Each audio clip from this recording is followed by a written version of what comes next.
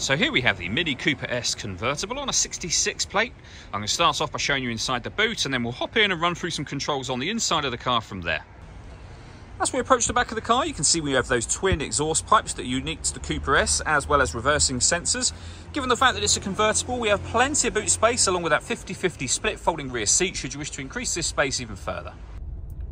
Okay, now that we're inside the car, we're going to start with the dials. On the left-hand side, we have the rev counter we have the speedometer in the middle and on the right hand side the fuel gauge. Also in the middle you can see the total miles for the car. They are 41,632. The information displayed above that can be changed using buttons on the end of the indicator stalk. Uh, for various bits of trip computer, fuel economy information, you can, for example, have the digital readout for the speedometer you see being displayed now.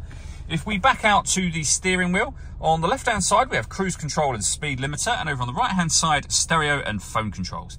The phone controls can only be used after you pair the phone up to the car, and that is done over on the screen in the center just here, under the uh, telephone heading, uh, and then you would go to um, your Bluetooth devices and follow instructions on the screen from there, which we're not going to do at the moment.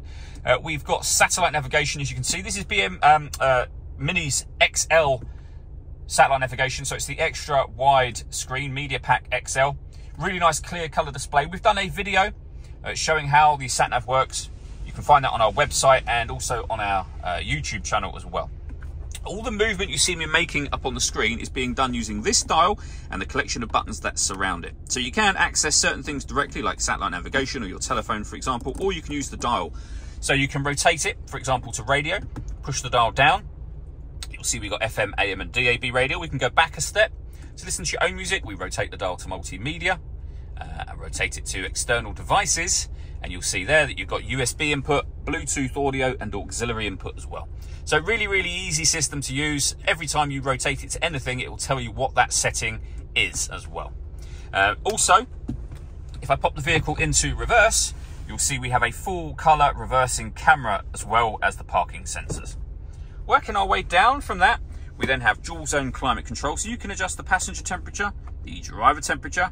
You can increase or decrease the fan speed. You can determine where you'd like the air to be distributed.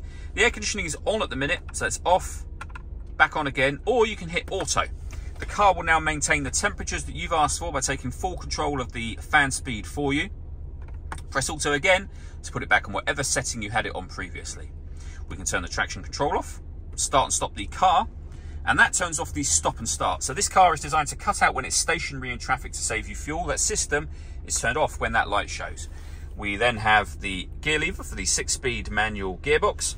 We have a 12 volt charging socket, auxiliary and USB inputs down there. And then lastly, this control here will change the uh, driving setup of the car. So you can put the car into sport, mid or green modes. Last thing I wanted to talk about is the uh, roof, of course, on this car. So you have a button just up here if you use that button just the first time, you'll notice the roof will stop by itself here uh, to give you a kind of a sunroof section. Go back up to the button, press it again. All four windows will go down to begin with. The roof will start to come back. And if you keep your finger on the button long enough, all of the windows will also go back up again, or you can stop short of that should you wish to.